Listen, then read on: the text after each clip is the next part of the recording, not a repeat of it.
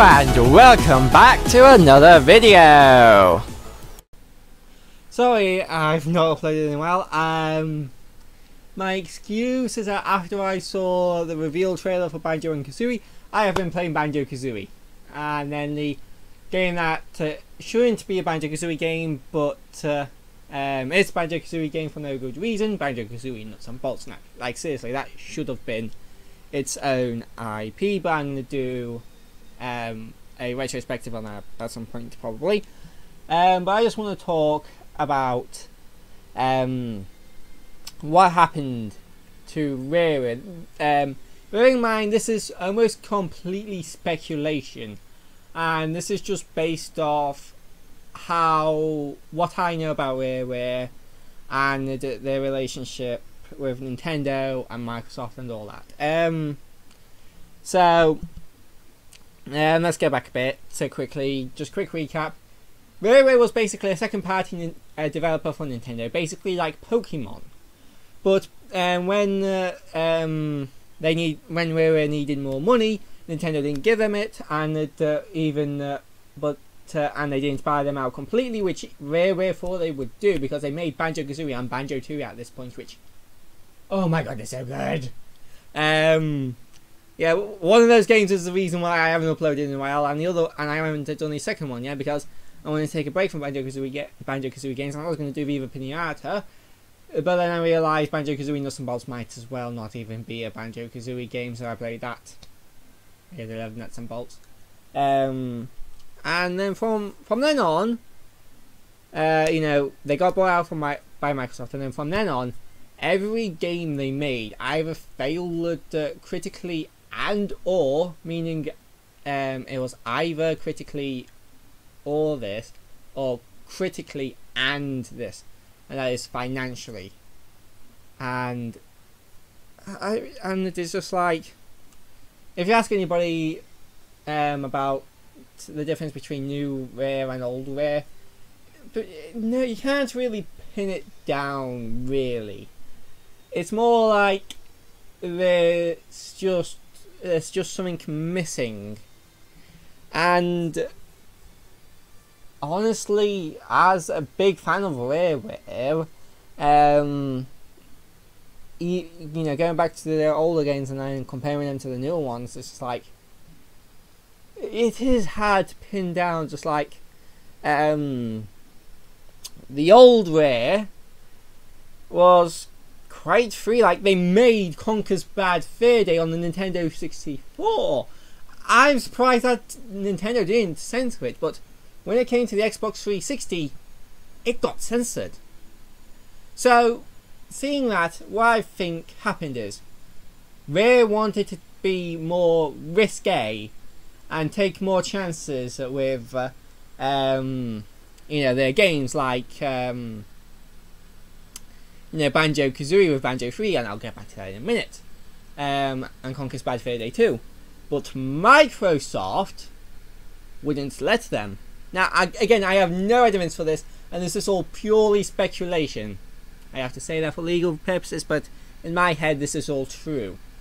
And because Microsoft was so restrictive with what they were doing, um, what they would let Rare do, it just lost the the Rare. They just took the rareware out of the game. So like, no, you can't do this. No, you can't do that. No, no, no, no, no.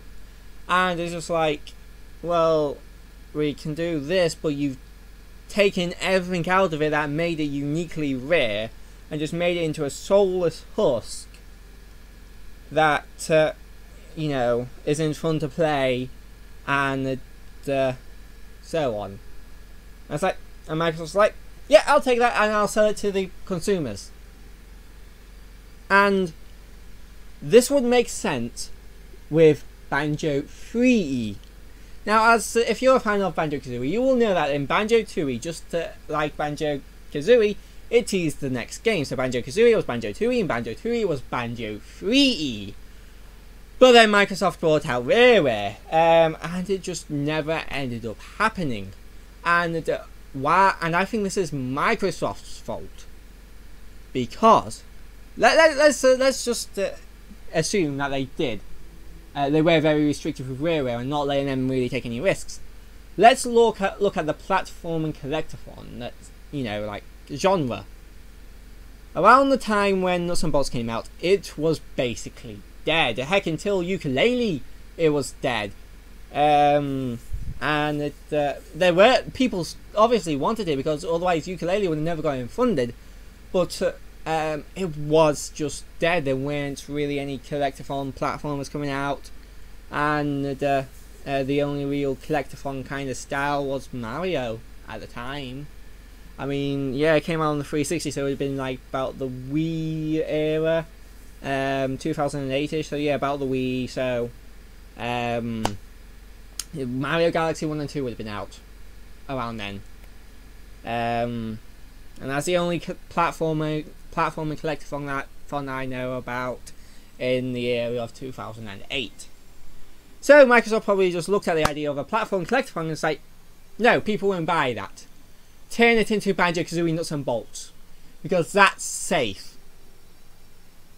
And another reason why I think this might be true is Log, Lord of Games. And the it's kind of interesting because he's basically the catalyst for Banjo Kazooie Nuts and Bolts. He basically, you know, starts it all off with them taking the Grunty and the, banjo to Showdown Town and the, the start and all that hubbub and setting it all up. Could he be a stand in for Microsoft? Now, he's not outright uh, stated as evil, but he's not really a good guy either. Like you couldn't go, oh yeah, Log, he's he's a good guy. And also one of his first one of his first pieces of dialogue, I think it's actually like the fourth text box you get from him, like uh, and uh, after you meet him for the first time. He he talks about no no no all people want all gamers want to do nowadays is shoot stuff.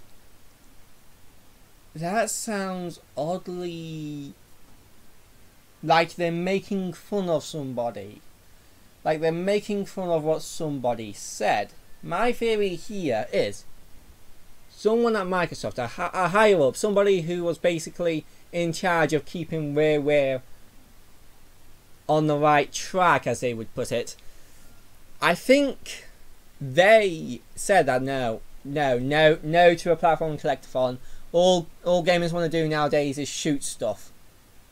So maybe they had to come up, come up with a compromise um, with said developer, and they just put that dialogue in there to make fun of him a bit. Um, and Log is quite an unlikable character. Like, while I love Banjo Kazooie Nuts and Bolts, most of the new characters are pretty much completely unlikable. Let's see, I think those three new characters that I can remember off the top of my head. Log, who, yeah, I don't like him at all. Um, there was uh, Trophy Thomas, who is a cocky a-hole. And uh, then there was the pig policeman who he's calling you punk. And he keeps on acting all tough. I, am not a big, particularly big fan of him. Oh wait, and there was that frog guy. Uh, Do Dodgy? Dodger? I don't know. Um, he, he, he was bland. He was bred. He, he he's a video game equivalent of bread, video game character equivalent of bread, and uh, yeah, I, I, and it's just like, could that be it? Now, what would be more risky than a platform and collectathon at that time? A platform and collectathon that's swearing, alcohol, violence, and war. Enter Conker's Bad Fur Day where it got where the original got uh, censored and its sequel got cancelled. Hmm. I wonder who did that.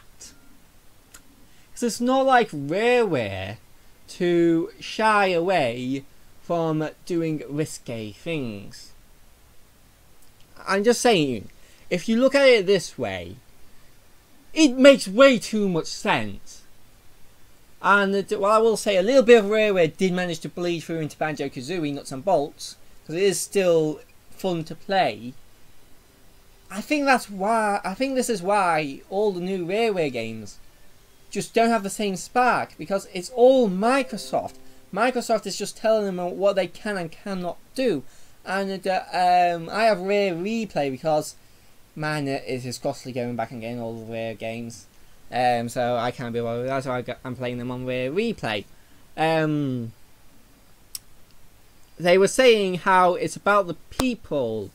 Uh, they were doing interviews on this, like I've unlocked a little video, and it's talking about how it's how Rare is about, you know, what makes a Rare game is about the people and the fact they never say no to anything. Do you think a company that doesn't say no to anything would cancel a game after teasing it with no explanation? Like literally no explanation. But Conker's Bad Fur Day 2 completely vanished. So did Banjo Threeie. So what I think is Microsoft snubbed them out because they were too risque, and that uh, um, uh, I think Banjo Threeie would have been in further along in development than Conker's Bad Fur Day 2.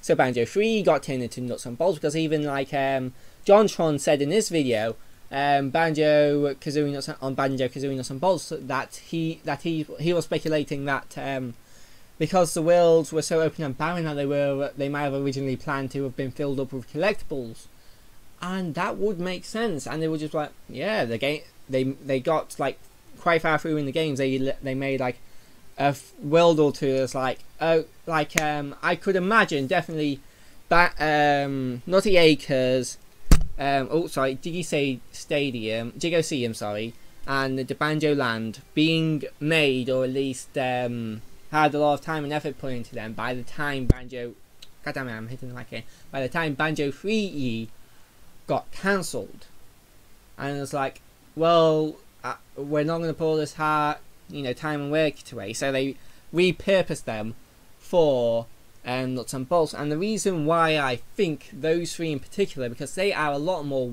open and expansive than um, like say Terrarium of Terror, which is a lot more cramped and uh, um, claustrophobic, and uh, and the same with um, oh, what other one? What, what's the other one? I think there's one more. Uh, no, actually, I don't think there's any more. Yeah, but that's just my that's just me like just like sit, sat down just like brains just like this has just been like brewing in my mind for a little while and it's just like when you look at it this way it just becomes exceedingly clear why Rareware has fallen so low because Microsoft just like no you can't be Rareware you have to be not Rareware anyway Tell me what you guys think down in the comment section below. I'll see you guys in the next video. Bye bye. If you liked this video, don't forget to hit that like button, comment down below what you thought of this video, and uh, if you want to see more of my stupid face, don't forget to hit that uh, subscribe and uh, ring a ding uh, that uh, notification bell. Otherwise YouTube won't uh, notify you when I'm uploading videos for some unknown reason. And I'll see you guys in the next video.